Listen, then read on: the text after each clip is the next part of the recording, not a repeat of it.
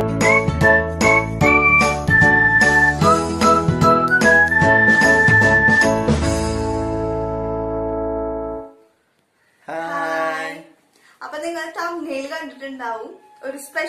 സാധനമാണ് ഞങ്ങളെ സംബന്ധിച്ച് അത് സ്പെഷ്യൽ ആണ്. കഴിച്ചിട്ടുമില്ല.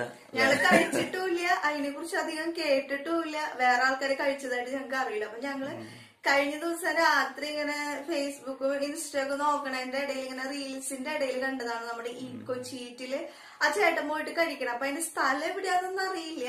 പോയി കഴിക്കണത് എവിടെയാന്നുള്ളത്. അപ്പൊ അതിലിങ്ങനെ പറയുന്നുണ്ട് ചുക്കപ്പും ബീഫും. ബീഫ് അതിൽ കണ്ടപ്പോ ഇച്ചിരി ഫ്രൈ ചെയ്ത പോലെ ഒരു ബീഫ്. ബീഫ് പിന്നെ എല്ലാവർക്കും ഉണ്ടാക്കാൻ അറിയാലോ?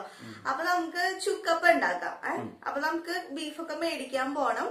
അപ്പൊ നമുക്ക് ബീഫ് മേടിക്കാൻ പോവാം. ചുക്കപ്പത്തിനുള്ള സാധനങ്ങൾ കുറെ കൂടി ഉണ്ട് ഒന്ന് രണ്ട് ഇൻഗ്രീഡിയൻസും കൂടെ മേടിക്കാനുണ്ട്. അതും കൂടെ മേടിച്ചിട്ട് നമുക്ക് വരാം. ഓക്കെ നമുക്ക് നോക്കാം. അത് എങ്ങനെ ഉണ്ടാക്കാം അപ്പൊ അതിന് വേണ്ടിട്ട് ഫസ്റ്റ് ആയിട്ട് നമുക്ക് കുറച്ച് സാധനങ്ങൾ വാങ്ങാൻ പോകാനുണ്ട്. അപ്പൊ ഫസ്റ്റ് സാധനങ്ങൾ മേടിക്കാൻ പോവാം. അത് കഴിഞ്ഞ് നോക്കാം നമുക്ക്. ഓക്കെ. അപ്പൊ ഞങ്ങൾ ഇതുവരെ കഴിച്ചിട്ടില്ല കേട്ടോ. സംഭവം ഞങ്ങൾക്ക് ഒരു പുതിയൊരു എക്സ്പീരിയൻസ് ആവും. ബീഫ് സാധാ പോലെയാണ് ചുക്കപ്പം ഞങ്ങൾ അങ്ങനെ കഴിച്ചിട്ടുമില്ല. ആ, വേറെ ആരെയും കുറിച്ച് പറയണോ കേട്ടില്ല ഞങ്ങളുടെ നാട്ടിലൊന്നും അങ്ങനെ ഉണ്ടാക്കണതായിട്ട് അങ്ങനെ കണ്ടിട്ടില്ല സംഭവം. എവിടുത്തെ സാധനമാണ് അതിനെ കുറിച്ചിട്ടുള്ള ആധികാരികമായിട്ടൊന്നും അറിയില്ല. പക്ഷെ നമുക്ക് ഉണ്ടാക്കി നോക്കാം. അപ്പൊ നമുക്ക് പോവാം പുറത്ത് നല്ല മഴയുണ്ട്. ഇവിടെ നമ്മൾ ഇറങ്ങിയപ്പോൾ വണ്ടി സ്റ്റാർട്ട് ചെയ്ത് ഇറങ്ങിയപ്പോഴേക്കും മഴയൊക്കെ പോയി. അത് കാരണം ഇപ്പൊ വലിയ കുഴപ്പമില്ല. ചെറുതായിട്ട് വെയിലൊക്കെ വന്നു തുടങ്ങിയിട്ടുണ്ട്.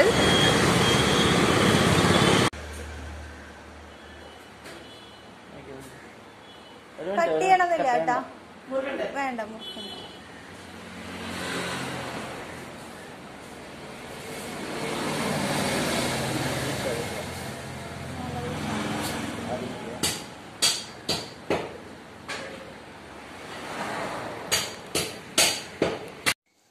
അപ്പൊ നമുക്ക് നമ്മൾ ബീഫ് മേടിച്ചുകൊണ്ടുവന്നിട്ടുണ്ട്. അപ്പൊ നമുക്ക് ആദ്യം ബീഫ് ഒക്കെ ഒന്ന് കട്ട് ചെയ്ത് വെക്കാം. ഞാൻ കട്ട് ചെയ്യാണ്ടാണ് മേടിച്ചിരിക്കുന്നത് നമുക്ക് കട്ട് ചെയ്തിട്ട് വേവിച്ചിട്ട് നമുക്ക് ഫ്രൈ ആക്കാം. ആദ്യം വേവിക്കാൻ വെച്ചിട്ട് ബാക്കിയുള്ള പണികളിലേക്ക് നമുക്ക് നോക്കാം. അപ്പൊ ബീഫ് എങ്ങനെയാണ് ഫ്രൈ ചെയ്യണേന്നുള്ളതിന്റെ വീഡിയോ ഒന്നും ഞാൻ ഇടുന്നില്ല. അതൊക്കെ എല്ലാവർക്കും അറിയണ കാരണം അതൊന്നും ഞാൻ ഇടണില്ല.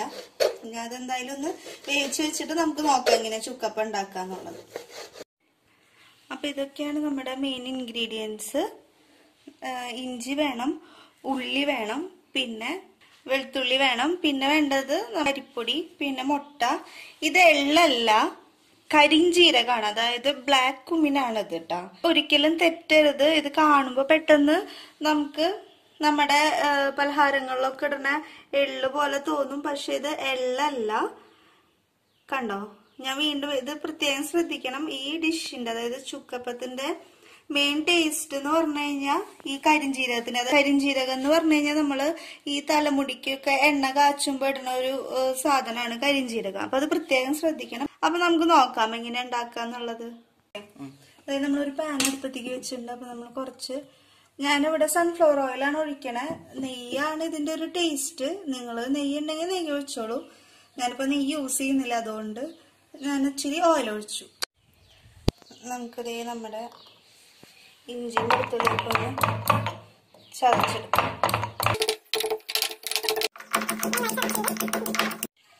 ഈ ചതച്ച് വെച്ചത് നമുക്ക് ഇതിലേക്ക് ഇടാക്കാം ഒരുപാട് എണ്ണ ഒഴിക്കണ്ട. അല്ലെങ്കിൽ നിങ്ങൾ നെയ്യ് ഒഴിക്കണമെന്നുണ്ടെങ്കിൽ ഒത്തിരി ഒന്നും ഒഴിക്കണ്ട. കുറച്ച് ഒഴിച്ചാൽ മതി. അപ്പൊ ഇതിന്റെ കളറൊന്ന് മാറി വന്നിട്ടുണ്ട്. അപ്പൊ നമുക്ക് ഇതിലേക്ക് വെള്ളം ഒഴിക്കാം. വെള്ളത്തിന്റെ അളവ് എങ്ങനെയാന്ന് വെച്ച് കഴിഞ്ഞാൽ നമ്മൾ എത്ര കപ്പാണോ അരിപ്പൊടി എടുക്കണേ അത്രയും കപ്പ് വെള്ളമാണ് എടുക്കണത് കേട്ടോ. അതായത് ഇപ്പൊ ഞാൻ ഈ ഒരു പാത്രം നിറച്ചാണ് അരിപ്പൊടി എടുത്തിരിക്കുന്നത് അപ്പൊ അതേ പാത്രം തന്നെയാണ് ഞാൻ വെള്ളം ഈ പാത്രം ഫുള്ള് തന്നെയാണ് ഞാൻ വെള്ളം എടുത്തത്. അടുത്ത് നമുക്ക് ആവശ്യമായിട്ട് ഉപ്പ് ചേർക്കാം. എത്ര ഉപ്പ് വേണ്ടതെന്ന് വെച്ചാൽ ചേർക്കാം ഒരു പ്രത്യേകം കാര്യം ശ്രദ്ധിക്കണം. നമ്മൾ വെള്ളം എടുക്കുമ്പോൾ സൂക്ഷിച്ചെടുക്കണം. കൂടി പോവരുത്. നമ്മൾ എത്രയാണോ എടുക്കുന്നത് അതിനനുസരിച്ച് അളവിൽ തന്നെ അരിപ്പൊടി എടുക്കുന്നതിനനുസരിച്ച് തന്നെ വെള്ളം എടുക്കണം. വെള്ളം കൂടിയാൽ നമ്മളെ ചുക്കപ്പ ഉണ്ടാക്കുന്ന നേരത്ത് അതിങ്ങനെ പൊട്ടിത്തെറിച്ചു പോകും അപ്പൊ അത് ഒഴിവാക്കാൻ വേണ്ടിയിട്ടാണ് നമ്മൾ ഇങ്ങനെ അളവെടുത്തിട്ട് വെള്ളം ഒഴിക്കുന്നത്. അപ്പൊ അത് തിളച്ചിട്ടുണ്ട്. നമുക്ക് പൊടി തിരിച്ചിട്ട് കൊടുക്കാം.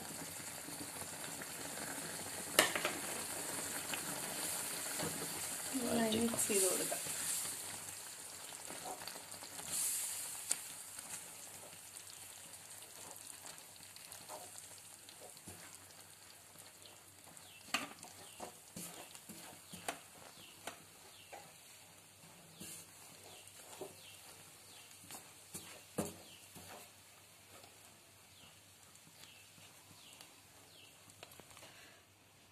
പിന്നെ അടുത്തത് നമ്മുടെ മെയിൻ ഇൻഗ്രീഡിയന്റ് ആയിട്ടുള്ള കരിഞ്ജീരകം ചേർക്കാം. എല്ലാം പ്രത്യേകം ശ്രദ്ധിക്കണം കരിഞ്ജീരകമാണ് എന്നിട്ട് ഇത് നന്നായിട്ട് മിക്സ് ചെയ്ത് കൊടുക്കുക.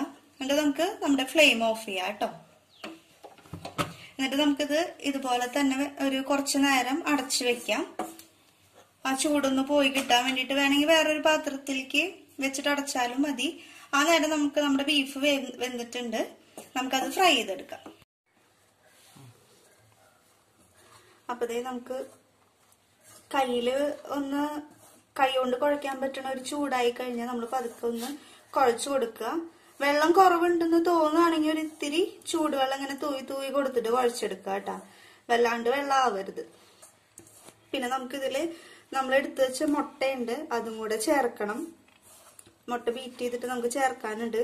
അപ്പൊ വല്ലാണ്ട് വെള്ളം അങ്ങോട്ട് ഒഴിച്ചു കൊടുക്കണ്ട. ഓക്കെ? അപ്പൊ ഒരു നമ്മളൊരു ഇതൊന്ന് കുഴച്ച് വന്നിട്ടുണ്ട്. ഇനി നമുക്ക് മുട്ട ഒഴിച്ചു കൊടുക്കാം.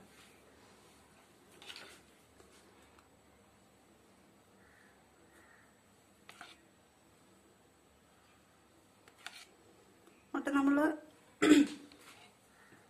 മുട്ട നമ്മൾ മുഴുവനായിട്ട് ഒഴിച്ചു കൊടുക്കരുത്. തിരിച്ച് ഒഴിച്ചു കൊടുത്ത് ഒഴിച്ചു കൊടുത്ത് ഇത് സോഫ്റ്റ് ആക്കി സോഫ്റ്റ് ആക്കി കൊണ്ടുവരണം കേട്ടോ.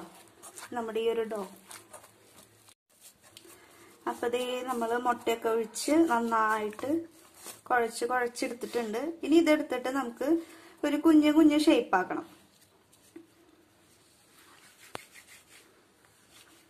അതായത് ഇങ്ങനെ എടുത്ത് നമ്മൾ ഉരുട്ടി.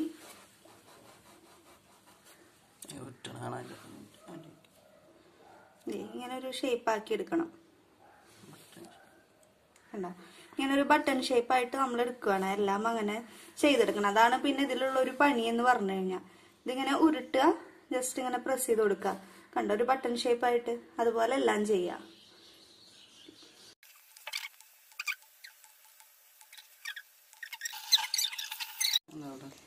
അപ്പൊ ഇതേ നമ്മൾ ഉരുട്ടിയൊക്കെ കഴിഞ്ഞു. ഇനി നമുക്കിത് വറുത്തെടുക്കാം. അപ്പൊ ഒരു പാത്രം എടുത്തിട്ട് നമ്മൾ എണ്ണ ഒഴിച്ചു കൊടുക്കുക.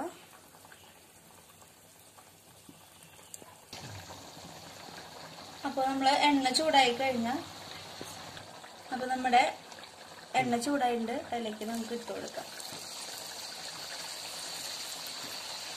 ഇട്ട പക്ഷെ നമ്മൾ ഒന്നും വെച്ച് ഇളക്കരുത്. ഇളക്കി കഴിഞ്ഞാൽ നമ്മൾ ഉണ്ടാക്കിയ ആ ഷേപ്പ് പോവും.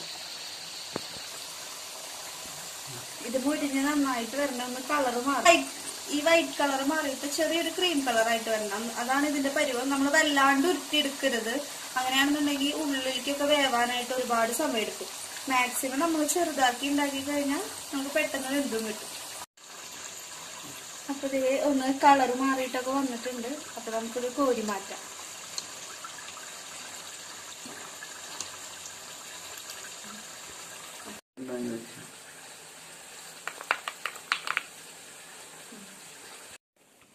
അപ്പൊ ദേ നമ്മുടെ ബീഫും അത്യാവശ്യം അവസാന ഘട്ടത്തിലേക്ക് ആയി തുടങ്ങി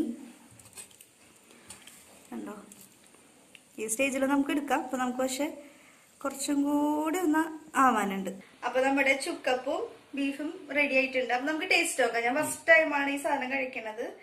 അപ്പൊ നമുക്ക് നോക്കാം. ഫസ്റ്റ് ഞാൻ നോക്കാം. വേണ്ട. ഫസ്റ്റ് പെണ്ണ് നോക്കിക്കോ അതുള്ളത് ഇതെങ്ങനെ കഴിക്കണ്ടെന്ന് വെച്ചാൽ ഇതിന്റെ റൂൾസ് ആൻഡ് റെഗുലേഷൻ എങ്ങനെയാന്ന് വെച്ച് കഴിഞ്ഞാൽ ഇത് വെക്കും.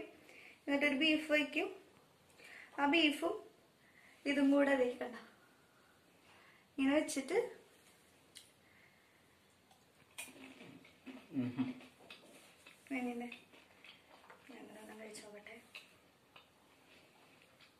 വെച്ചു. പ്രത്യേക കോമ്പിനേഷൻ.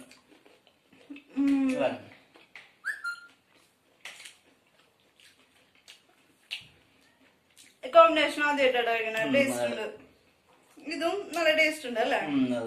ആ ഒരു കരിഞ്ചീരകത്തിന്റെ ആ ഒരു ടേസ്റ്റ് വരുമ്പോ നല്ല രസമുണ്ട്. ഫ്ലേവർ ഉം, നല്ലൊരു ഫ്ലേവർ ഇങ്ങനെ മുന്നിലേക്ക് നിൽക്കുന്നുണ്ട് കരിഞ്ചീരകത്തിന്റെ. അപ്പൊ സക്സസ് ആണ് കേട്ടോ എല്ലാരും കഴിച്ചില്ലെങ്കിൽ ഇപ്പൊ ഈ ലോക്ക്ഡൌൺ ഒക്കെ ആയിട്ട് എവിടെയും പോയി കഴിക്കാനും പറ്റില്ല. പക്ഷെ അത് എവിടെയാന്ന് എനിക്ക് കറക്റ്റ് അറിയില്ല ലൊക്കേഷൻ പക്ഷെ അപ്പൊ നമുക്ക് വീട്ടിൽ ഉണ്ടാക്കാം. വീട്ടിൽ ഉണ്ടാക്കാൻ പറ്റുന്ന ഒരു ഡിഷാണ് അപ്പൊ എല്ലാവരും ട്രൈ ചെയ്യണം കേട്ടോ നല്ല ടേസ്റ്റ് ഉണ്ട്. എന്നുവെച്ചാൽ ഒരു പ്രത്യേക കോമ്പിനേഷൻ ആണ്. എപ്പോഴും ചോറും അതുപോലെ അപ്പവും പൊറോട്ടയും പിന്നെ അതുപോലെ പുതിയത് വന്നിട്ടുണ്ട്. പഴംപൊരി. ബീഫും ബീഫും പഴംപൊരിയും. അപ്പൊ അത് ഇതൊക്കെ വേറിട്ടിട്ട് വേറെ ടേസ്റ്റ് നമുക്ക് പുതിയ പുതിയ ടേസ്റ്റ് പുതിയ പുതിയ ബീഫും പുതിയ പുതിയ മേച്ചിൽപ്പുറങ്ങൾ തേടി പോണ കാരണം അല്ലേ? പുതിയൊരു മേച്ചിൽപ്പുറാണ് ഉം, ഉം. എന്നെ സംബന്ധിച്ച് ഞാൻ ഫസ്റ്റ് ടൈം ആട്ടോ കഴിക്കണേ. അപ്പൊ എല്ലാരും ട്രൈ ചെയ്യാം. അപ്പൊ നെക്സ്റ്റ് എന്തിലാ വരികയെന്ന് അറിയില്ല എന്താ പറ്റണെന്ന് വെച്ചാൽ അതും കൊണ്ട് ഞങ്ങൾ ഓടി വരാം. അപ്പൊ ടാറ്റാ. അപ്പൊ ഞങ്ങളത് ഫിനിഷ് ചെയ്യട്ടെ. ബൈ ഓക്കെ കഴിക്കാം. അപ്പൊ ശരി.